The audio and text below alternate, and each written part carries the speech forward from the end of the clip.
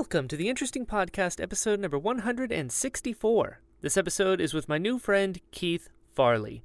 He's a writer, actor, director, podcast host, and a whole bunch of other really cool things. I didn't realize how much we had in common until we hung out, and Keythe was a blast. We talk about his fantastic podcast, Live from the Lounge, how we both played trombone growing up, where his interest in entertainment started, going from a PA to a director, why talent outweighs who you know, performing all over the world with a production of 1984, our favorite nuggets of wisdom, and so much more.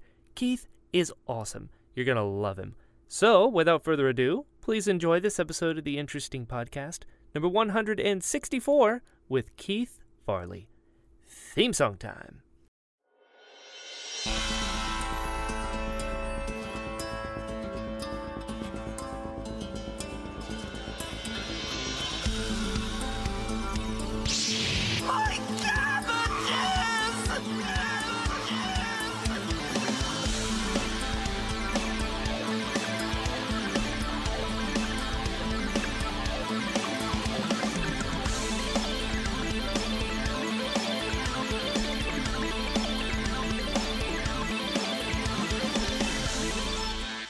Uh, we're in hurricane season now, so it just has torrential downpours and then like a 15 minute window to check your mail, and then you run back Sure. in for more. Yeah, Not bad, not that's bad. exciting. I like that kind of weather. I like exciting weather. Yeah, yeah. Florida has that. It's a the humidity is at a level where you have to swim through the air. You know, Sure, sure, sure. an experience. Uh, you know, Air, air stroke. yeah, exactly, exactly. Yeah. You figure it out over time. It's supposed to get better, I hear, but I I haven't hit that yet. I've been here a long time. Well, I'm not going to tell you the weather here has been lovely. So Sure, sure. I mean, listen, I've been to LA a few times and it's actually nice. it It's- it's that's funny. the. I mean, that's the thing about it. I met a guy one time in New York, um, in winter. Oh, And I, so I I was staying with a friend and he was out, so I walked down to the corner pub to have dinner. sure. And I struck up a conversation with a guy I was eating at the bar, and um, he said, "Where are you from? You're not from here. Where are you from?" I said, uh, "You're right. You're right. You pegged me. I'm from Los Angeles." He goes, "Oh, L.A. Huh? Well, you like it out there?" and I said, "Well, I said it takes a little while to get used to living in paradise, but once you get over that." he cracked up. And I yeah. was like, if you take what's what's the temperature right now? And he goes, uh, it's uh, 27. Yeah. I said, yeah, flip that, and you'll have the weather in Los Angeles right now. Just flip it, 72, baby. So yeah, but if you Oh. like, you know, so you like it here, huh? You like it here in in Queens? Snow. Yeah, you like 27. Hmm, Interesting. Whatever. Choice. whatever. Are you- though. Are you good with cold? No, Me neither. Me neither. My blood's thinned out. I can't I'm do it. okay. Um, I like skiing. Oh yeah. Yeah, I like to ski. Uh, we Oh. ne- I don't, never get to do it because like seven of the last ten years have been drought. Oh, good point. Good point. There's been just literally no, especially locally in LA. There's a there's a Sure. little mountains to the east of us, Yeah. and if it's a good season, you can get some decent skiing going on up there. um, Cool. which I did a few years ago with my kid, Right on. and then two years ago, I actually bought a pair of skis at a local There like you go. secondhand sports store. I was like, sure. spend 100 bucks 150 bucks for a pair Yeah. of skis and then they pay for themselves even if i only ski 10 times in the rest of my life i go once a season for the next 10 years Boom. or two times for the next five Sure. they're paid for drought and then covid Right. two winters of covid Oh, not optimal skiing. no so i see them when i go out to the shed every once in a while i'm like oh yeah there's my skis Right, right. Just a just a reminder. that'll be fun one Yeah. day One day. I've never been skiing or snowboarding really. Have you done have you done snowboarding? No. Yeah. I, I, here's my snowboarding story. I was skiing for the first time in about 20 years. I took my kids, and they were, you know, nine, seven, nine. So we'll Sure. go up, get a lesson, and I'll go off and do some skiing. So we got our boots, we got our poles, we got rented, all that mm-hmm. stuff. put them in their lesson, got on the chairlift, and I'm going up my first run, and I'm like, oh, I hope I remember how to do this. that was my fear. Sure. And I saw these this beginner snowboarding class, and it Oh. was people sliding down the hill and falling flat on their back. That's all Perfect I saw. form. People going, boom, boom. And I realized in that moment that I will go to my grave having never snowboarded. Yeah, probably best. Probably best. The the margin of error is so high it, with anything like that. I just don't have a day to just be falling on my back all day. That's part of the experience, I find. You know. You have to. I mean, that's Yeah. the only way you're going to learn is by falling flat on your back. And again, you know, I thought, all right, that's a that's a younger man's, Yeah. woman's, it's a younger person's game. Sure. The Which is- window window might have might have missed just a little bit. might have missed Yeah. the window, but That's anyway, okay. I don't mind. I You like don't skiing. need it. I like Yeah. skiing. Scan works. I'm okay with two. That's Yeah. what I learned when I was 12. There you know, go. I learned how to do it when I was 12, and I remembered it came right back to me. And the Cool. skis today are just so much easier. I went with my kid Mhm. uh, that one year, a couple years ago, when we did Yeah. have snow, and he took a lesson. And then afterwards, the guy was like, "What are you guys doing? You want to? I'll take you guys out a little bit. I can I can skip the line and we can go." And I was like, "Great." Sweet. And he told me, he was like, the skis are so much easier now. All you really have to do, it's like being on an elliptical. You just sort of like you're Oh. going up and down on the elliptical, and the skis just turn themselves, and you get this great, just sort of push, push, push with the skis. Whereas before, you used to kind of have to carve and then pull the skis together. He's like, you don't have to do that anymore. Wow. Skis are shaped differently, so it's really just a weight transfer from foot to foot, and they just do it by themselves. It was great. Really? That's like I've heard about like bowling is the same thing. Like the technology for bowling is so much better now. Where before Is that like the- true? Yeah, yeah. Supposedly like the old lanes were like actually wood and the balls were made of different material, whereas now it's like significantly easier than it was in like the 70s and 80s. Huh. Isn't that wild? That is. Yeah. I can't imagine the bowling technology. This Right? doesn't seem like two words that go together. Yeah. I know. Outside of the technology, which I love, Yep. which are the pin, the pin setters and Uh-huh. the, the little thing yeah. that goes up and down. All that stuff has fascinated me since Same. my first memory. Yeah. First time I saw it, I was like, "That's the coolest thing ever." Right? I'm so see, same. Then Yeah. everyone else is like, oh, it's just pins. I go, no, no, no. There's like a factory back there doing all kinds of cool stuff. It's awesome. Coolest machinery Yeah. ever. I And then- totally agree. Yeah, but I still like to keep score. Yeah. by hand. Yeah. Why not? And I that way, like you know, it's like the big Lebowski, you know, Yeah. like can get really intense. You have to mark it zero. You know, Yeah. you, you get it. Exactly. yeah, I do. All right, this is going to be a good conversation. I can tell. You know, you know, and also you have the coolest spelling of Keith I've ever seen. Yeah. And that's from someone whose middle name is Keith. Not spelled the Ah. same though. Yeah. Interesting. yeah. Yeah. Yeah, That I was, like, uh, Keith, man, I wish mine was spelled your way. It's so much cooler. you could do it. Yeah, that's true. You Go know ahead and you're not changing your name. That's right. That's on my to-do list. You know what? Right now. You go. Change to Keith. Boom. Key Not bad. the. as Key my the. sister. Yeah. Do you get does it get mispronounced a lot? Yeah. Sometimes. Every Yeah. once in a while, you get a Kathy or a Katie. Uh oh yeah, I can see that.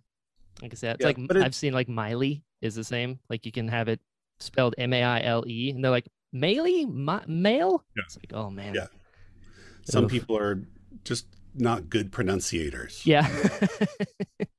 we'll get to them eventually. We'll, We'll figure get it to out. them. We'll figure it out.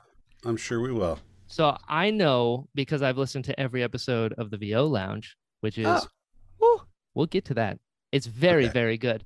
But it's Good. interesting because normally I'll have somebody on and I know next to nothing about them. But I feel like I know quite a bit about you because of your show. There's so much of you in it. And True. it's beautiful. Like I know you're from you're from Sacramento. I am from Sacramento. And then I know you moved to LA, so you're not from there. True. You know? You I am a California native, but Mhm. not.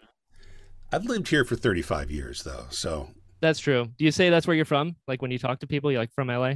this is definitely my home. Yeah, gotta be. Los That of Angeles is definitely my home. And when I was a kid, I lived in Long Beach for a bit too. So Oh, cool. you add those three or four years plus the almost 40 years in Southern California and Yeah. 15 in Northern California.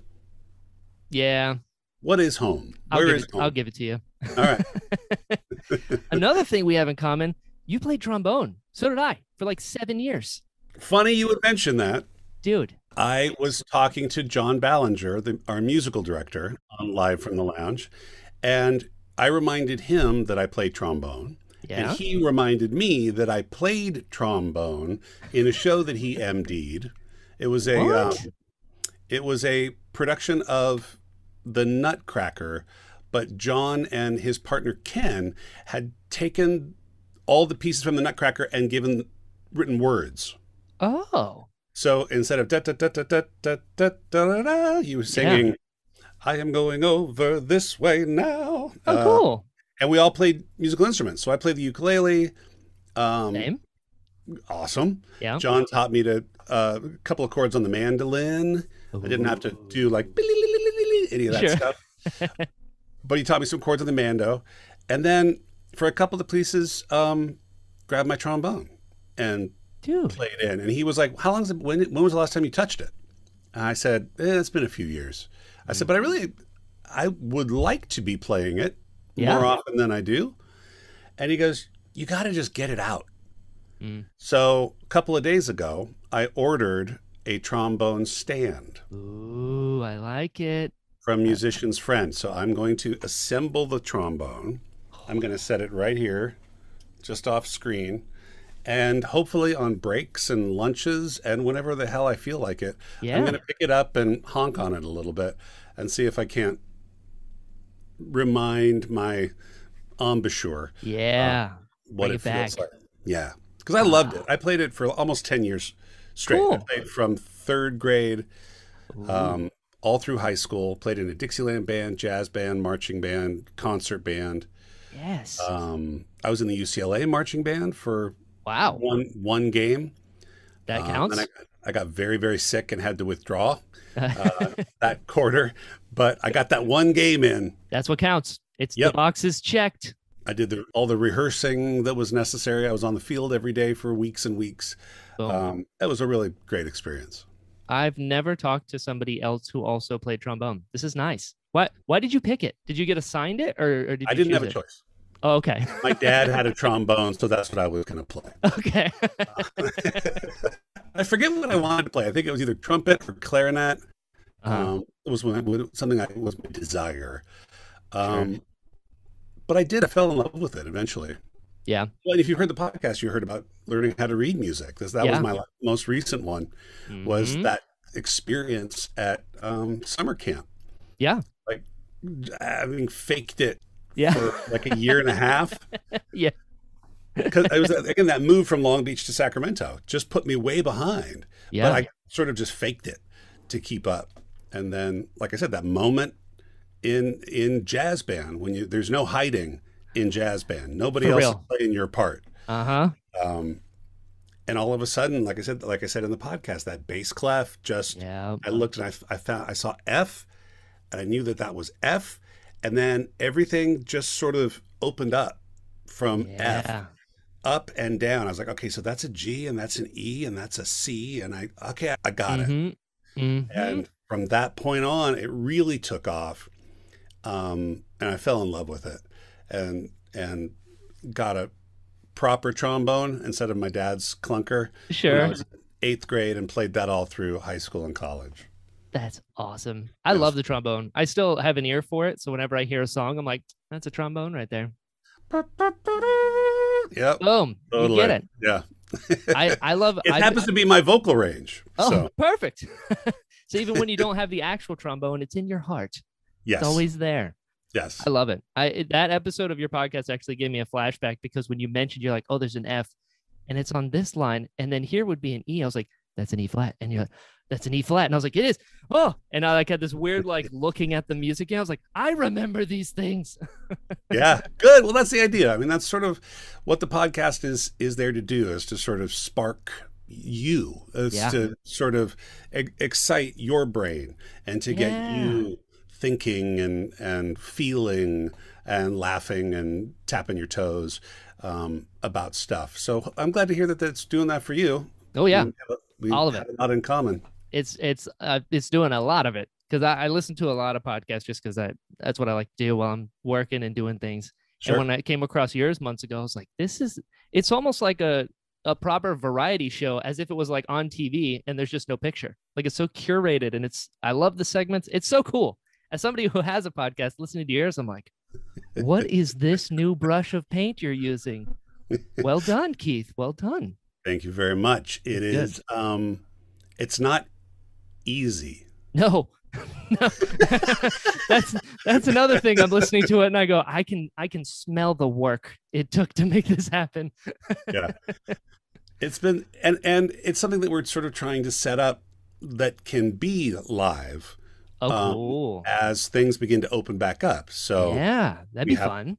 we could conceivably do these shows live, um, and that's the idea. Um, we're not doing them live because of the pandemic Uh-huh. um, and separated, but for the last radio show, uh, the Father's Day or the the the um, summer camp, Summer camp. Mhm. sketch, we recorded right here Oh, cool. in the lounge.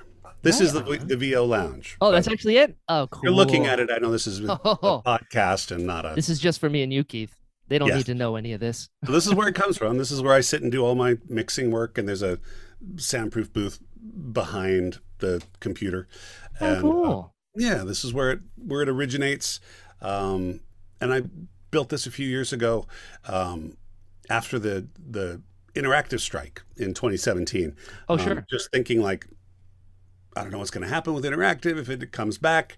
Right. Great, and if it doesn't, what am I going to do with myself? Sure. Um, and so I built this VO lounge with the help of, of, of George Whittam uh, and a guy named Mark Schouten uh, and my wife, who kind of came up with the idea of giving it a lounge feel. cool. You can sort of see that.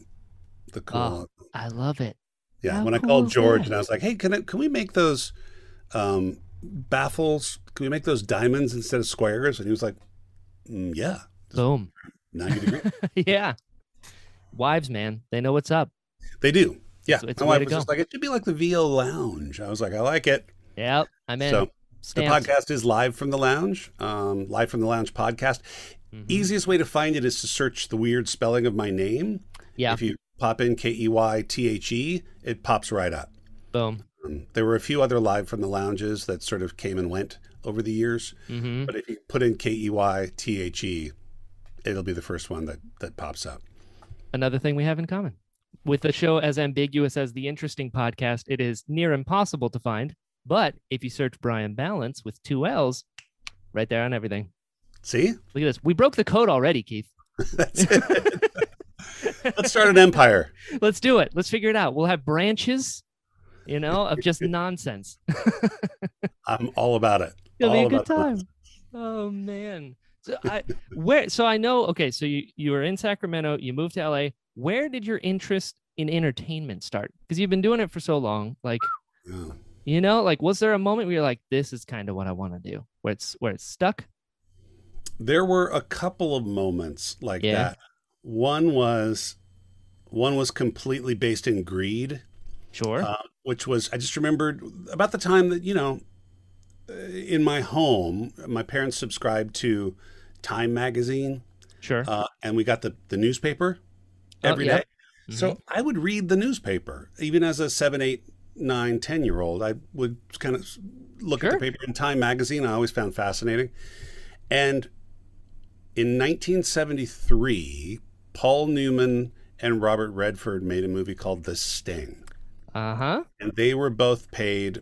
I mean, I think the a million dollars each to be Oh. in the movie.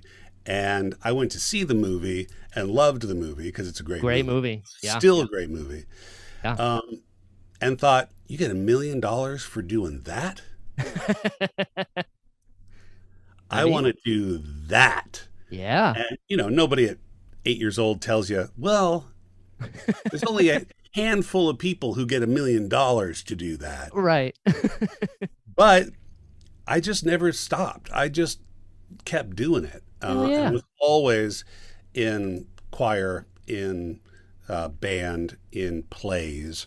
From Mm-hmm. that moment on, um, talent shows, anywhere that I could get up in front of people um, and play or sing or dance or perform was something that I started doing. and um, out of in high school, I was fortunate enough to have a radio station on campus. Cool. So I learned radio Yeah. In high school.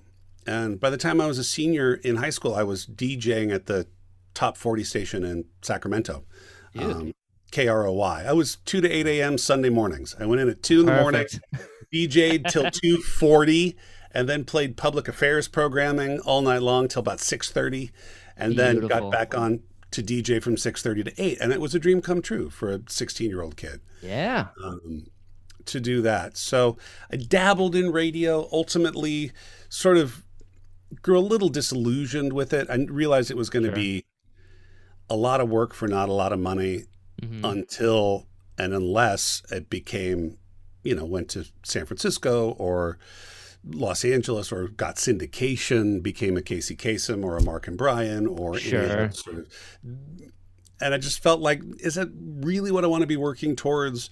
Uh, and I'd sort of fallen in love with acting at that point. And Cool.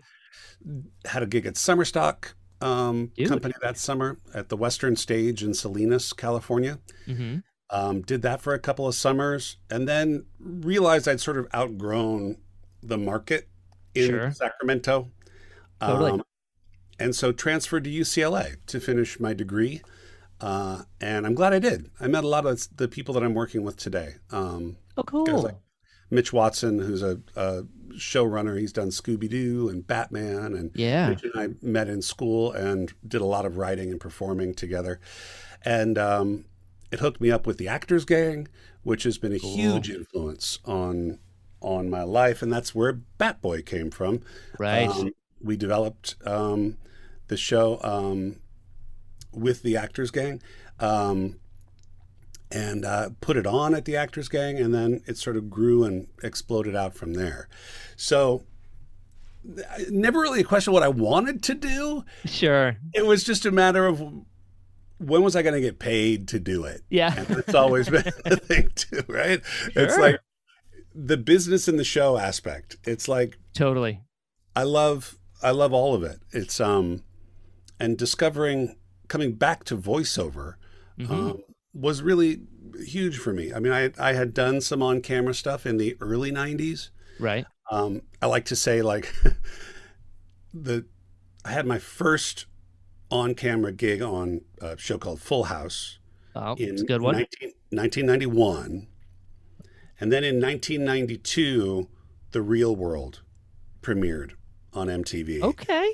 And that was the beginning of reality TV, which Ah. then took over Mhm. network TV.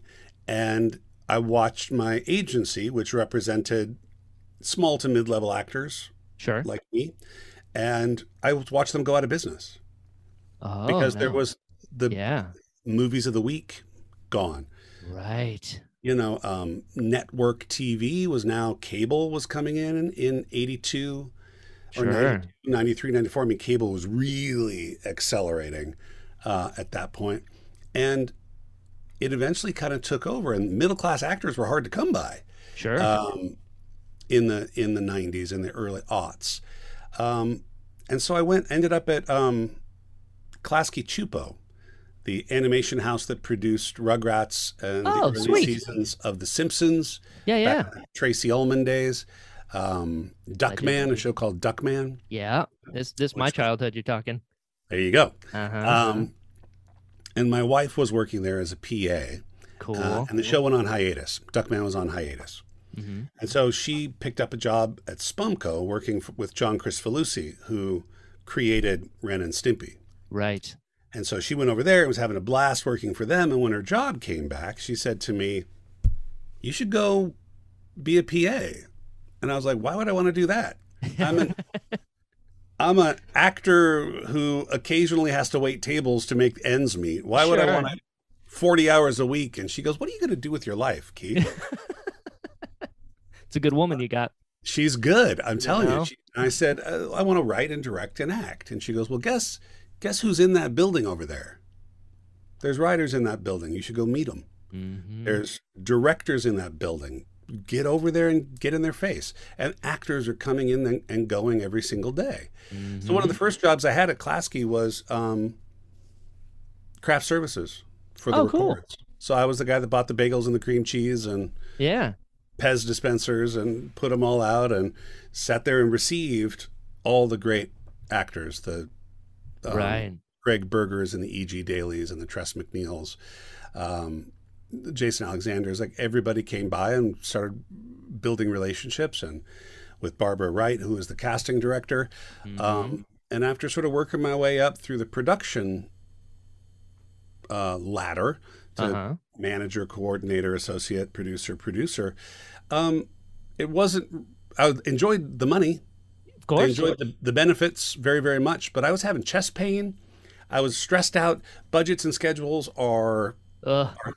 Things I can do. Yeah. They're not things I'm great at, Yeah. Understandable. and they it stresses me out. So I went to my boss and I said, "Hey, listen, Bat Boy was starting to take off at the time, Right on. um, and we had done this crazy one-off film festival in Park City with my partner Brian Flemming called Slum Dance, oh, sweet. which was Great name. it was really it turned out to be kind of a big deal in Park City that year. Right on. we were on Good Morning America, um, and got a lot of got a lot of press. And the Independent Film Channel (IFC) recruited Brian and I to work on a show called Split Screen that Oh. um, John Pierson produced for IFC back in the '90s. hmm Um, and so we we started doing these pieces for him. We had to write Bat Boy because it was opening Sure. on Halloween in 1997 and we needed a script. Sure. So I went to my boss and I was like, hey, listen, I got to write this show. And I got these independent film channel thing is sniffing around. Can I take like 10 weeks and, you know, figure out what's going on with things? And she said, well, we've been thinking about you. The new creative director at the studio feels like he can talk to everybody on staff except the actors. He's just not quite sure how to communicate with actors. But knowing you senses that you that might be a good that you might be good at that. Do you want to take over voice directing Rugrats? Dude. You'll work a couple days a week and you'll make about what you're making now and then you'll have your free time to go do your IFC and your Bat Boy and all that stuff. So that was a great great gift Wow. that- coming up through the production ladder gave to me. yeah. Um, and Rugrats, uh, the cartoon, the series became Rugrats video games, hmm um, which introduced me to everybody in the video game world um, that I've been working with for the last 17 years. Oh, that's so cool. I love hearing stories like that because it is that way. You can start as a PA. Today's PA is tomorrow's director. Yeah. Like there is a way to do that. And it's also really cool. And I'm not surprised now that you're building those relationships with those people because that is how it is. Like it's it's who you know as well as like what's the relationship there because you want to work with cool people. Right. I like it. Oh, I tell my students all the time. It's like the, it, it is there's a there's a who you know aspect, Mhm. but there's also a talent yes. aspect Yes. that weighs it outweighs it. And I always tell this story. I think so too. Um, I'm going to leave the name out. Okay. It was you can use Brian. okay. so I'll give it to you. I'm not sure if that's going to work. Okay, never mind. anyway. Ryan. So yeah, Ryan or Bry, Yeah, yeah, there you go. Brian. yeah, that's Um, it. Brian. Perfect. We got it. So I'm directing one day, and they they come in and they go, listen, the the the producer's hairdresser has got a one line part in the episode today. He they, he says he wants to be a voice actor, and he's coming in to do the part. I was like, okay, send him in. We'll be fine. I'm sure it's fine. One line. It's an old timey radio announcer, um, Cool. and the line was. Um, that was Bill Bailey, won't you please come home? And I'm sure he will. Up next, a little ditty called Bicycle Built for Two. And that was the started the episode. And then there was Right. this little fantasy of, of the old timey songs, right? hmm So, uh, very busy day. Hectic, hectic, hectic. Okay, next up is the uh, the hairdresser. And I was like, great, send him in. Let's do this thing. And he sits down, and I, don't, I just get right to it. Uh, listen, um, it's just this one line. We just want it to be really up, really bubbly, kind of announcery. So whenever you're ready, I'm sure you're going to be 100% awesome. Just go. Sure. And he goes, That was Bill Bailey. Won't you please come home? And I'm sure he will.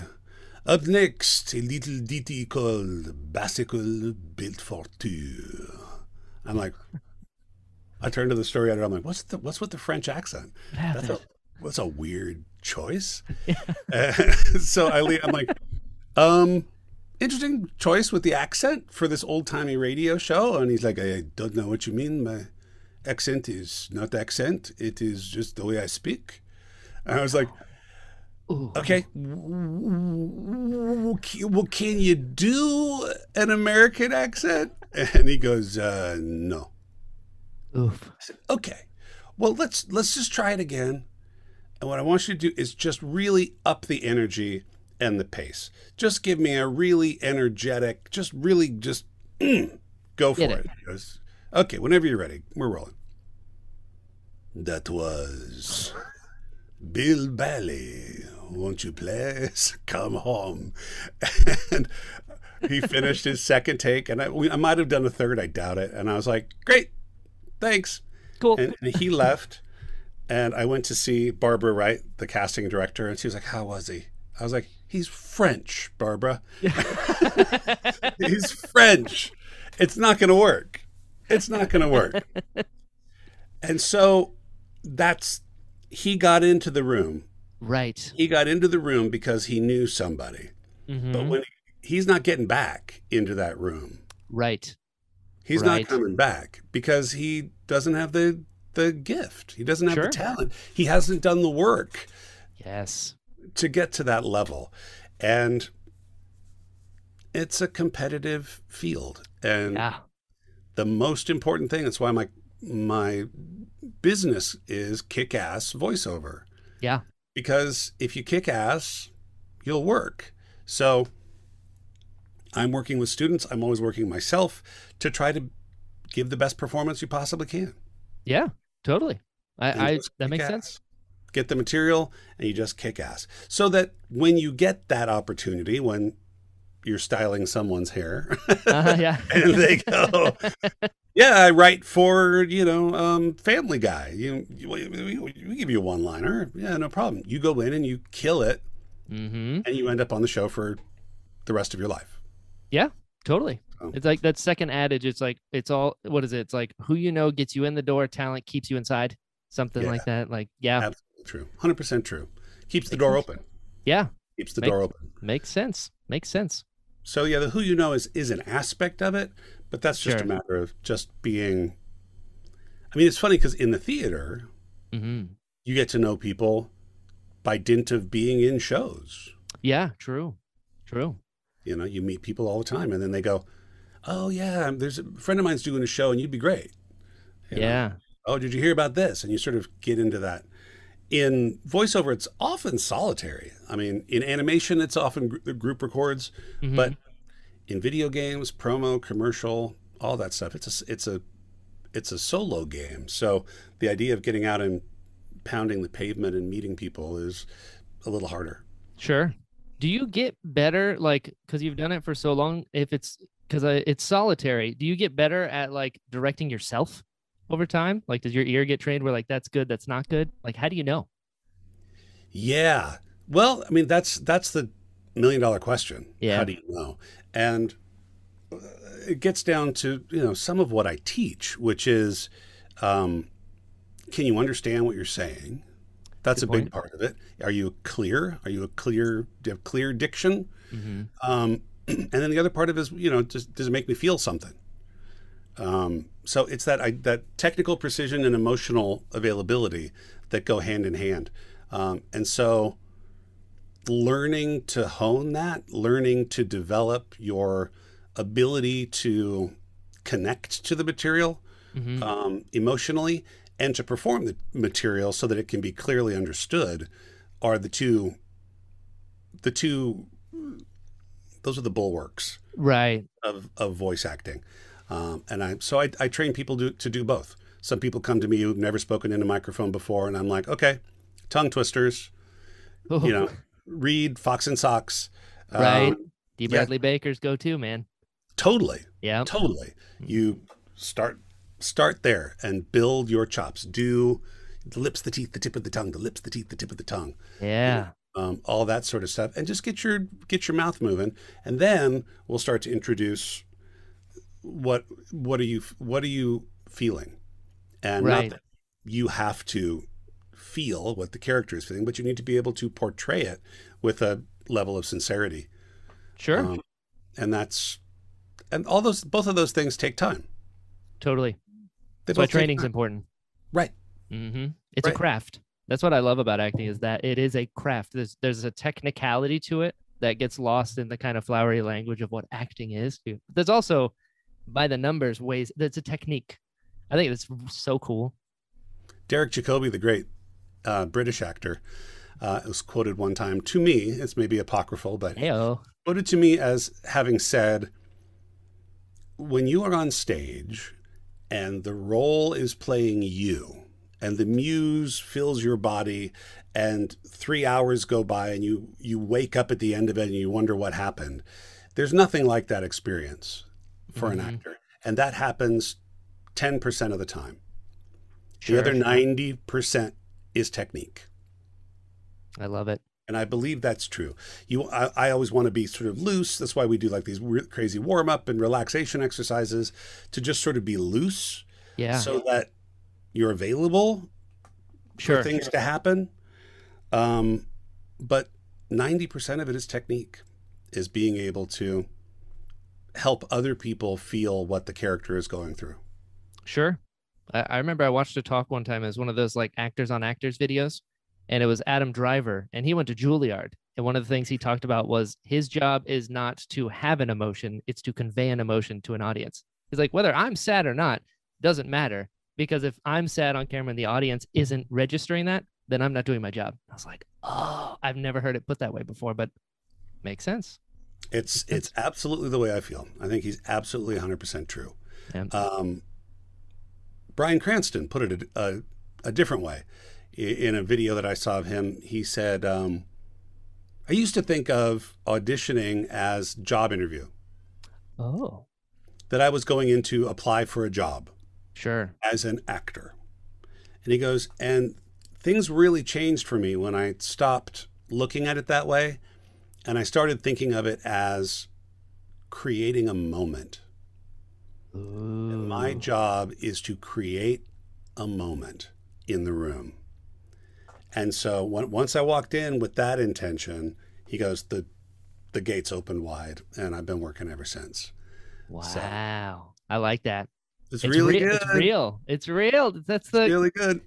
I like If you that. can- if you can go in and create a moment, Yeah. those people, especially in in person, Yeah. it's a little harder when I walk into my little tiny booth with my microphone and Sure. okay, got to create a moment. Let's create a moment.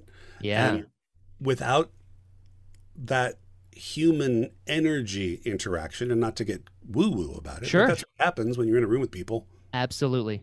100% agreed. We've all been to a concert and you've had ecstatic Mhm. experiences. You've been moved to tears. You've gone to the movies and you felt it. There's an emotion that happens when people are in a room near each other. Um. And when you're by yourself, it's trickier. And that's where Yeah. you just got to keep trying and get better at it. Sure. Sure. How long was it? Because you worked your way up from the production side and then you're directing episodes of Rugrats. How long was it before you're like, I'm doing this acting thing, like going on across the table? It was another one of those things, Brian, that I just, it was a, a, a moment where I got a little bit lucky. Um, I, I, I went down to the Actors Gang Awesome. um, one night. They were uh, workshopping uh, a new adaptation of nine, George Orwell's 1984. Sweet. And so I went in just to sort of, I read the script. I went to dinner and I read the script and loved it. Sure. and just went to the workshop just to kind of see my pals and um, see what was going on. And just to sort of say, yay, go do this show. It'll be great. Yeah. Support. And my friend Brent Hinkley was like, I got to hear you as Big Brother, dude. Ooh. I got to hear you as Big Brother. And I was like, nah, I- I'm not, I don't want to do the show. He's like, no, come on, come on. You got to Sure. do it. You got to do it. I was like, okay. So I went up and I ended up doing a reading some of Big Brother and then did the scene with O'Brien. I don't know how well you or your listeners know the book. Mhm. Um, at the end of the book, spoiler alert, if you're Yeah. planning to read 1984, Sure. tune out for two minutes. Yeah. Um, at the end, there's this big. The, the the main character is sort of captured by the state, and then he's deprogrammed by this dude called O'Brien, who has identified for Winston, the main character, what the worst thing in the world is, and it's rats. So he brings out this rat cage and he puts it on his head and finally gets him to betray his love and his state and everything. So that was the scene that I was doing. Ooh. And I got up on stage, and my kids at the time were like four and six. So I sort of, and my daughter had had some health issues, and my son had had some health issues. So I'd kind of been in the hospital with them. Sure. And so I just sort of played it the way I played it with them when Oh. horrible things were happening to them, just as a patient father, like, yeah. okay, this is going to suck, but it's going to be fine, and you're going to get through it, and you're, we're going to do what we need to do. Okay. And you hear the audience, people in the audience are like, Yeah. you know, because there was no mustache twirling, and all of a sudden, I, like I said, it was that thing of, which I learned from George Bigot, who was with the um, Théâtre du Soleil in France, hmm was to just don't push, don't force, and don't deny. Yeah. So I was just on stage, just as relaxed as I am talking to you now, but playing this moment, and it just sort of was that Derek Jacobi moment where the Yeah. the script played me. Um, and so Tim Robbins, who was directing the show, came up to me afterwards Ooh. and was like, You want to play O'Brien? he would know. And I was like, Let me check with my wife. Let me check with my wife. Smart so I went home that night. You know, I got home at uh, midnight or whatever, and I crawl into bed next to my wife, and she's like, "How was workshop, honey?" I said, "I kind of feel like this is a this is a big break for me. Yeah. Doing this role in this show feels kind of like a big deal. I don't." It's just a little show in a 99 seat theater in Los Angeles, but it, it, it feels like a big deal to me because it was really this weird thing happened to me on stage. It was like I was totally taken over by the character and blah, blah, blah, blah. Yeah. So, anyway, it did turn out to be a big deal. We toured the world with that show for six years. what? Really? Um, yeah, we were. We went to Hong Kong and played at the Opera House. We were like the headliner at the Hong Kong Arts Festival. Um, I played opera houses in Spain, which was what? Bonkers. To be able to stand on a stage in an opera house and i realized as i was standing downstage center that i could speak like i'm speaking to you now and be heard by everybody in every seat because the acoustics were so good. I didn't need a microphone so i got to play everything really down. So there we played in madrid barcelona um, bilbao melbourne australia uh, athens greece. I mean we played all over the world. And we came back Wow. Here and there. I wasn't six years on the road. Yeah, but Uh, still. I had children uh, yeah. They forgot who you were. who I was pleased to raise, and I love them Yeah. dearly. Um, Of course, of course. but we came back and we did a, a three week stint here in LA at the at the Red Cat Theater, which is at the Disney Concert Hall. hmm And I thought, what the hell? I'll just send out some postcards Sure. and see what happens. And I had an agent who called me after it, saw you in the show, loved your work. Um, I want to rep you for commercials. And I said, okie dokie. Yeah. Your agency also has a VO department. She goes, How do you know that? I said, Because I cast and direct voiceover. And she goes, Yeah, you want to meet Kelly Marie? We can get you on down there. I said, Okay. So she took me down the hall and I met Kelly Marie and they started sending me out. Um, this was 2008. So it's about 12, 13 years ago now. Um, and that was kind of the transition from being hmm writer director Sure. Keythe to being director actor Keythe hmm um, depending on what you know how much money you're making sure. to being actor director Keythe some years director actor Keythe some years Sure. and the bat boy royalties have sort of played themselves out but there Mm-hmm. was always that little infusion every three or three to six months where it'd be like oh how nice there's there's the rent for the next Yeah. couple um, so that was kind of how it turned around for me was that just showing up at the actors gang yeah. at night just to go Go get him, guys. Um, and I, it ended up handing me a a career in performing and in voiceover. Yeah. Um, you know, I never booked an on camera commercial, but Mhm. I booked a lot of VO commercials. So wow. yeah, I love that. It's like you were just a good friend, and look what the universe did. Boom. yeah, I yeah. like that. But then goes to Yeah. show do the work because you had the talent to be able to do it from the experience. So luck is preparation meets opportunity. So you had the prep and the opportunity. You got lucky. Lucky, quote unquote. right. It's yeah, the Sam Snead quote about golf. Um, yeah. golf is a game of luck, and the more I practice, the luckier I get. yes, exactly. Exactly. That was very so much it. cool. Did, that was very did, much it. did you find that audiences, depending on where you were in the world, was there like a a commonality between them or a difference between them uh, in reaction to the show? It's a really, I mean, when you're doing a show that's being subtitled Oh, or super titled, you know, in Spain, in hmm I don't know if we had, I don't remember having most of the Greeks speaking a fair amount of English, but in Spain and in China, hmm we had super titles or in China side titles because they read Oh, oh yeah, yeah. bottom. Um, so that's a trip because the audience is is looking off to the side to get the words and then kind of coming back to you Oh yeah. like this, you know. Um, but in the in the English speaking territories, even at- Mhm. across the states, um, we played a lot in in on college campuses because it's a great teaching opportunity. Used all over the place. Right, and they've all got big theaters, so Mhm. that's a great place for booking agents to sort of look Sure. and, and drop you in. Um, but no, the uh, it was it was interesting. Um, in China, in particular, the we we had done some press before the opening, Cool. and one of the the journalists had asked, um, "Do you know about what's going on in China? What do you what do you know about you know our government and the situation with Hong Kong right now?" Smart. and this was 2007 2008 ah. somewhere in there so Good, before good it, briefing. before it was today but there was some tension Yeah. i said you know what i'm really sorry i said we don't get a lot of news about china in the united states i'm kind of a news junkie Sure. but i don't really know a lot about i know that there's that hong kong is a or was a british territory that's Mhm. being handed back to mainland China and that they're in a process of doing that. So I hope that process goes well. Yeah. Um, but once I had performed the show for an audience of Chinese, mm-hmm. you could hear a pin drop doing 1984 in Hong Kong Oh in yeah. 2008.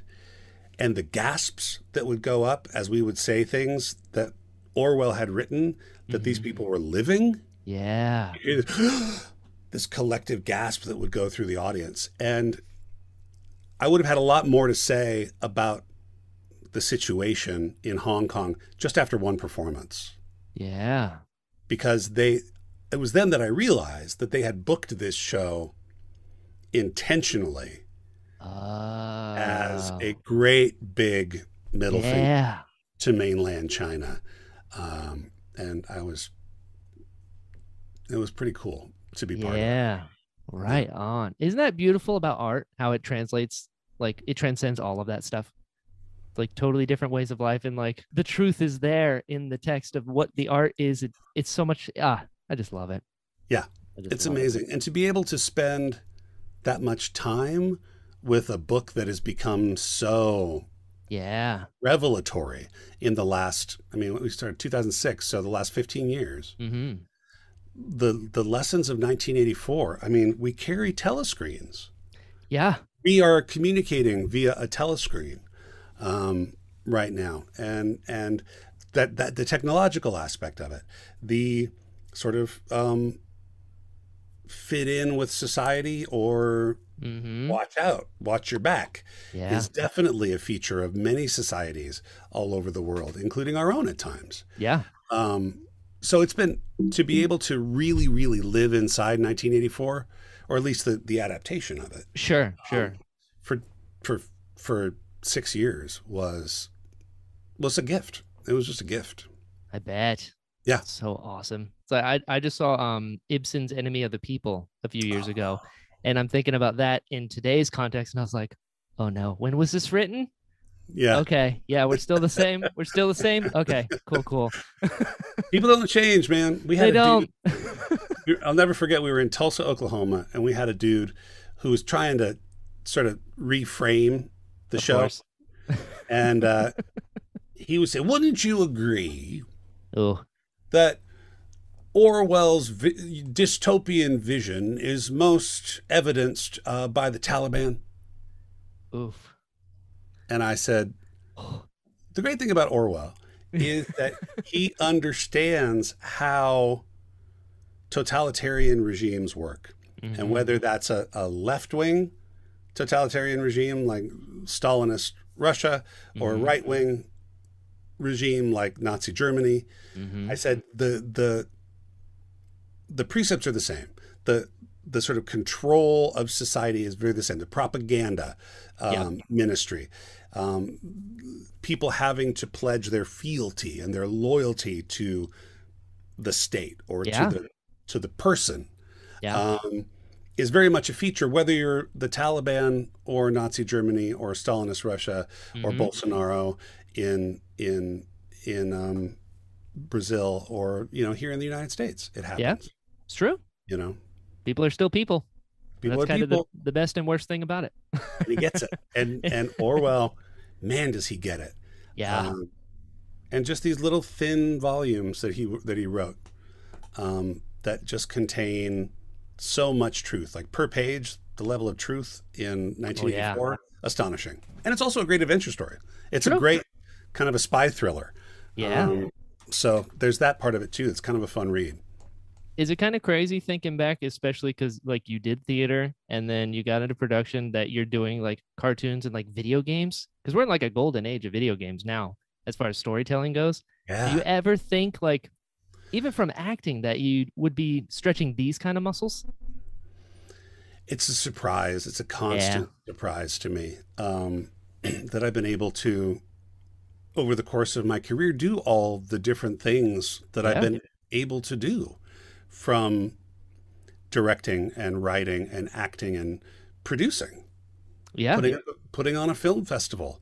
Um, totally in six weeks. We, we put Oh. that, we went from Ooh. zero to Park City um, from January 10th. And we, we were in Park City doing our thing on January. wow It was bonkers. So cool all that stuff, it's just a matter of, of, of, Frank Zappa had a great quote. I love all the quotes that we're getting in here. yeah we got we get nuggets of fun. wisdom we'll just throw 'em Nuggets. back From the greats. yeah there's a reason they're there Yeah, Zappa says if you want to be a composer, write a piece of music, get a people group of people to perform it in front of another group of people, hmm and repeat. ooh i like and then it you're a composer. yeah Whether you're making money at it, sure whether you're, you know, um, because you did it. You wrote music. it was played for an audience. Boxes are checked. you are a composer. So get over yourself and just do the work. Yeah. Um, and that's always been, I sort of thrown myself at the wall and see if I stick. Yeah. yeah. over and over again. And sometimes, you know, I have failed spectacularly uh-huh. uh, in my life and um, have also had great success. Um, sure. you know, That's how you do those things. Are you good at that? Like allowing yourself to fail to learn?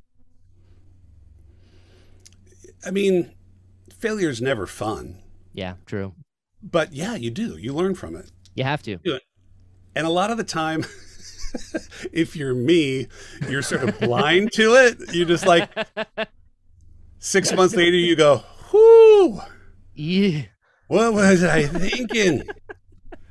what was I thinking? And then if you're if you're neurotic like me, you start to go, well, what am I doing now that I think is really Yeah. cool? Yeah. That's and then you got to learn to get off your back in that regard. Yeah. You got to learn to get off your back in that regard. And hmm throwing that monkey off is sometimes a challenge. Yeah. Um, but again, if it's if it's what you want to do, yeah. um, if you want to be an actor, get in the show. yeah. It's all Get part of the it. show. Go on stage in front of other people, hmm uh, and then you're an actor. Congratulations, you did it. You are it.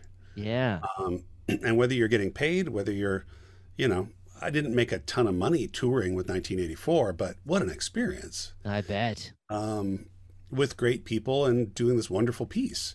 Yeah. Um, so, my wife and I have the the three pronged rule of a career in entertainment, which is good people, hmm um, artistically satisfying material, and money. Smart. So if you're getting one of those things, you can let the other two go. If you're working with great people and the show's kind of sucky and you aren't getting paid, well, at least you're hanging out with great people. oh. If it's a really fun show, the people are kind of assholes and there's no money in it, and you know, at least you got at least you're in something that's Sure. filling the soul. And if you're getting a bunch of money and it sucks and the people are terrible, okay, At least you At got least your I bills can- paid. at least I can pay the bills. So you get two, then you're you're gold. You're in good shape. Yeah. And every once in a while, you get all three. Every once in a while, you get the trifecta, and you're in a show with amazing people, working on an amazing project, and you're getting paid really well. Um, and that's just there's nothing better. Yeah. There's That's when it's like your spirit's filled up. Yeah. Yeah. to the brim, Yeah. to the brim, and that's a big part of it too. Is the you know uh, there is a spiritual aspect I think to it, I think so too. I think so too. just sort of understanding, and that's kind of what the coming back to the podcast. yeah. the idea of getting in tune with the seasons of the year Yeah. getting in tune with the idea and i learned this i worked um, at a presbyterian church in the Oh, cool. late 90s i wrote and directed church Awesome. um, for three years and it was great for the chops because you got a one hour show every Yeah. week and that's not not a, not to diss anybody who you know totally. religious, but it is. You're putting on this one hour performance every week, Totally. And you got to just keep going. You can't stop Mm-hmm. to think about it, and that's what kind of got me off off my own back. Was like, yeah, it's going to be great or it's going to suck. Um, but sure. six days from now, there's going to be another one. Yeah. Um, That's theater, you know? yeah, that's what the and the pastor told me when I first sat down with him. He's like, Keythe, you have to understand, Sundays are relentless. Yeah. They never stop coming. And I was like, yeah, that's why I'm here. That's what I want to do. Yeah. So, but as I was doing it, I started to notice that the liturgical calendar Mhm. matched up with the seasonal calendar. That as we're heading into the Advent season, Mhm. where the world is getting darker and darker, we Presbyterians light candles. Oh yeah. And you look and you go, oh, yeah, when it's getting darker, we're going to be like, nope, we're going to Yeah. light this candle. where the light's coming back, we know it is. That's Eventually right. it's going to happen. And the Jews have Hanukkah, and then there's the Kwanzaa celebrations, and it all goes back to the Yule log. Yeah. It all goes back to bringing in a tree from outdoors, which is a, a tradition that the Germans came up with. It's not Mm-hmm. tied to any religion whatsoever, but it's this thing that we humans do Yeah. to say we're hopeful. Yeah. And then you get into the the season of Lent, which is this sort of season of doing like penance, and that Mm-hmm. that comes in the dead of winter Yeah. is no coincidence. And the fact that Easter, this idea of coming back to life, happens in in the spring. And I started to clock this, and I was like, oh, Interesting. no wonder. And that's the way the world works. yeah. The world goes through this constant cycle every day yeah. from birth, growth, withering, death, new life. It happens every single day. You watch the our earth spins around and it flies around the sun and the seasons of the year do the same thing. Um, which is why in the January podcast it was like Mm-hmm. don't start Yeah. anything Yeah. in January. yeah. It's just not the right time. Nothing grows Nope. in January. If you want something to grow, and I started to do this in my own life, I started to think in January, Mm-hmm. well, what do I want to do this year? Right. Where do I want to go this year? And so you plan it and you start to think about it. You don't do it. Right. You start to think, well, I would like, you know, to to do more writing this year. I would like to, you know, um, uh, be there, cultivate the relationship with my wife and my family, yeah. and have that be um, a lovely thing.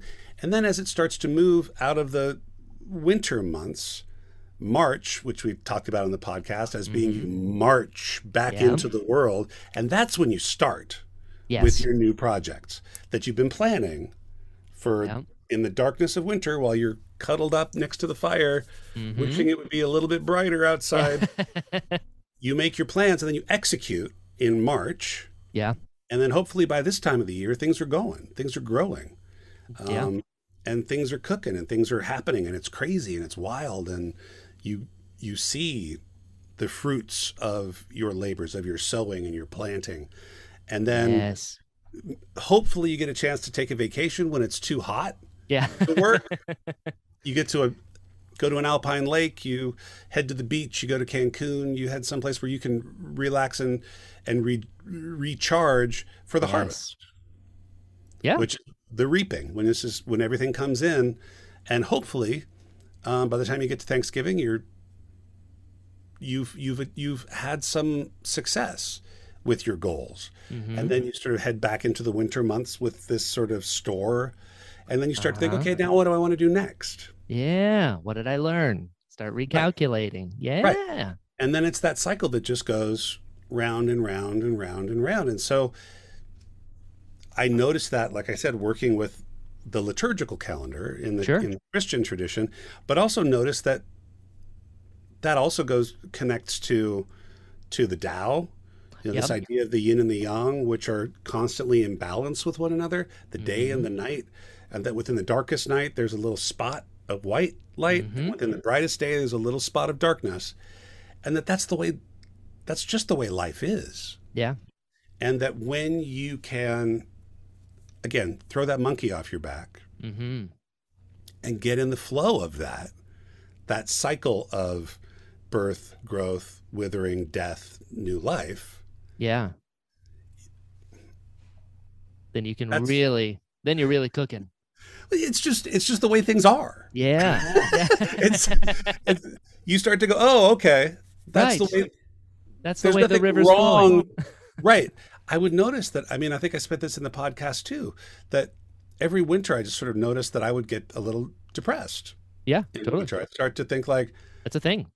this cold is not a cold this is a disease Sure. I'm Fine. certain I'm not going to make it to see 27 yeah. yeah. and start starting to accept that that's just part of it. So in February, I'm just always sort of like, yeah. Even in sunny Southern California, when the days are still short, sure. nights are still long, and you don't always get the vitamin D. Um, And, you know, it's okay to be a little depressed. and, Totally. So get off your own back about it. And you start to realize that these things are all part of the way things actually are. Mhm. And once you can learn to accept that, things get better. That's cool. And I think really important. It's important to have that mindset of like when you learn to go with the flow, you kind of give yourself a little more of a break. Then you can be your full self because you're not being dragged down by everything else that's there. I like Yeah. that. And then you just put these intentions in place. And again, I see sort of, like I said, January, February, start to think about, all right, I'd like to, I'd like to, you know, have a little more something, or I'd like to Yeah. try something new. I'm gonna, I'm gonna, um, take up the trombone. Yeah. But Um, don't start it in January. no, because you might have to get a trombone Yeah. and a stand and look for a teacher who's going right. to take you down, the, especially if you've never touched it before. yeah. But yeah, start slow and then build. And then as the year goes by, you sort of grow and you get better at it. And maybe you get to play in a in a brass band at Christmas time. Yeah. Is, is there because you do a lot of teaching and stuff like that? Is there a common pitfall you see that like a lot of people make, as far as like what's what's holding them back from doing their thing or like teaching? Do you see a common denominator? I think it's it's fear. Yeah, that makes Um, sense. It's fear. It's always it's some sort of some sort of variant on fear. hmm Um, someone's afraid to. This happens to me all the time. Here's one that I that I get a lot. hmm If I get someone who's a little, whether it's culturally or in a family situation, someone who's just more reserved Sure. emotionally, I tend to be more demonstrative. I want to. I'm bigger, especially in performance. I tend to go big and then pull back. Sure. Um, so when I'm see when I see somebody who's having trouble with that, um, and I work with them, and all of a sudden there's a spark, Yeah. and you sort of know when that spark happens, and all of a sudden their ability to read goes out the window. You'll get this little flutter of emotion from this person, and then all of a sudden they're stumbling over their words again, and and sure. then they and they shove it all back down and they go back and i've had a couple of students and this is fairly common where i just i say like you can't go back Yeah. for for now you can't go back when that stuff happens i want you to keep going because every time you go back and you clear your throat you're sort of locking down what's happening sure. emotionally Yeah. And we don't want that. You have to push through this. And it's hard. Your left brain and your right brain Yeah. screw with each other a little bit. When the mm-hmm. emotion starts going, the left brain is like, ah, ah, ah, ah. Yeah. We're going. yeah. And it's the right brain's like, yes, all the feelings, Yeah. all the feelings. We got this, man. And the left brain's like, well, I got, I got. Ah. Yeah. So it's that, it's that thing. And, and it's the brain and the heart. I think that's the, Yeah. you know that again wh- however you describe it left brain right brain head and heart um, technical precision emotional availability Yeah. that's what i teach i mean that's my thing so you could be really technically proficient and dull Mm-hmm. you could be really emotionally available but you can't be understood Right. so finding that balance is always a challenge but i find more often than not it's with once when the emotion comes out Mm-hmm. the technical precision that first little bit Sure. goes and falls apart Sure. The scatter shot. yeah indeed Yeah. I'm into that. I'm into that. Well, dude, we've been talking for over an hour already. Can't I believe like, it. I feel like this was 10 minutes. it doesn't seem right Dude, this was so fun. I yeah can't believe me you said too yes. I mean, No. listen, the blackmail helped. I understand, but still, kind of worth it. i love my dogs so much that's right. Say it please louder. them please Clear? give them back Uh huh. Clearly, Please clearly. give them back I need you to enunciate, Keythe. Let's roll this back. technical precision There it is. There it take is. two Slower. it's Dude. this has been really really fun um It's a joy getting to know you. This was awesome. I had Yeah, such a good time. So I have to before I free you into the wild. yes Uh, where can people find you online? Where do you teach? What's what's going on? stuff yeah let's let's plug it Talk to me. Um, I am on Twitter at far o near, Love which it. you heard that story on Uh-huh. the podcast this month. The podcast is live from the lounge Keythe, with Keythe Farley. Mm-hmm. You can find it on your all the platforms. Uh, we're on Apple, Spotify, Stitcher, iHeart, TuneIn, all the just put in K E Y T H E. Get Uh, it. it'll pop right up. Um, I'm on the uh, Instagram at Keythe Farley, K E Y T H E F A R L E Y, um, and Facebook too. Um, KeytheFarley.com, K E Y. T H E F A R L E Y dot com. Um, you can sort of take a look. That's sort of the forward facing performer site. Mm-hmm. Um, but there's some information about my my bio there.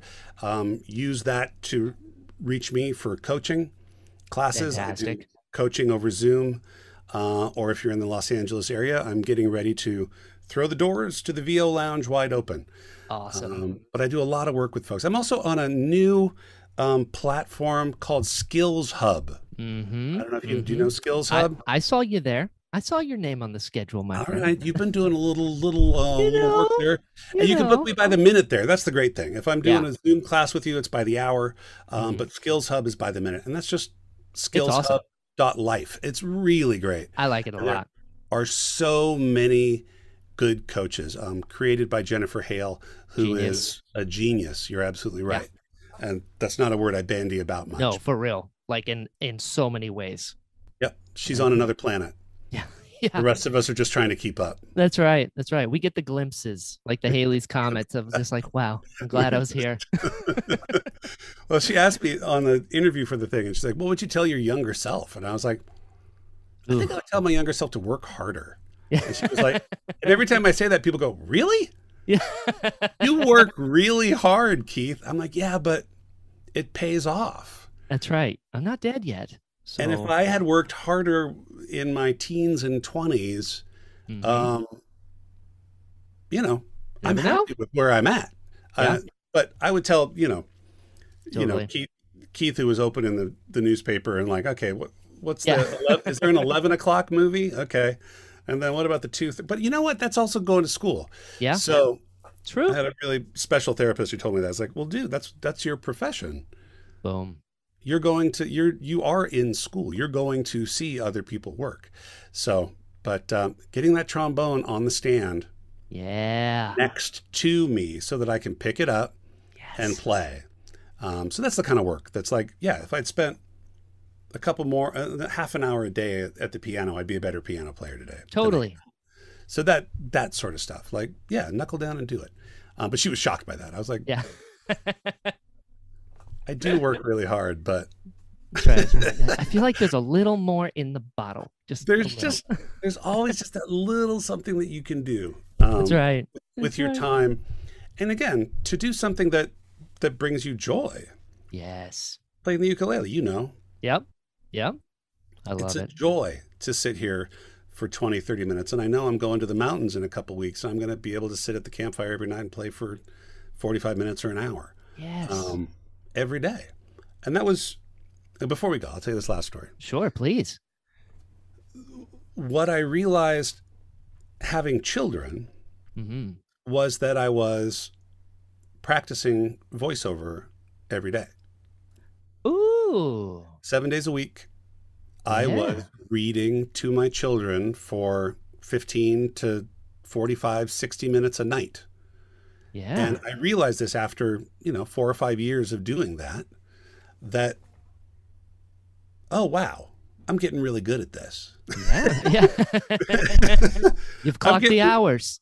because you clocked the hours. Yeah. And it wasn't something that I was doing with that intention. Sure. It just so happened that when you got a six and a four year old, Mhm. uh, or an eight and a six year old, that for those years you read to your kids if you're a good parent. yeah. Um, and it's fun. And that really, really got my chops from pretty good to really good. Yeah, I bet. So have kids. Have kids. Got it. Easy. Have kids. I love it. I love it. All right. And My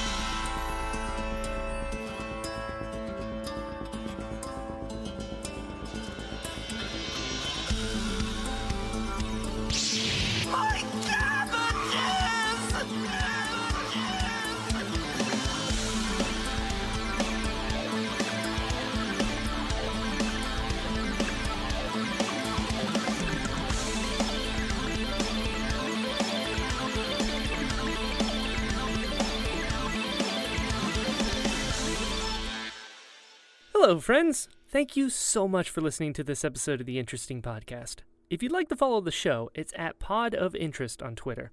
If you'd like to follow me, I'm at Jedi Brian on all social media sites. You can also find me at brianballance.com. There you'll find all my demos and a bunch of other fun stuff. If you enjoyed this episode, please share it and tell your friends. A good rating or review always helps and is greatly appreciated. Let the people know we've got some cool stuff going on over here.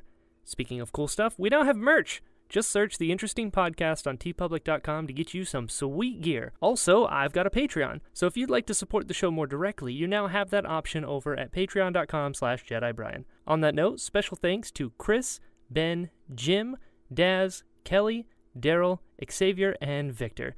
Your support means so, so much, and I can't tell you how much I appreciate it. So until next time, be well.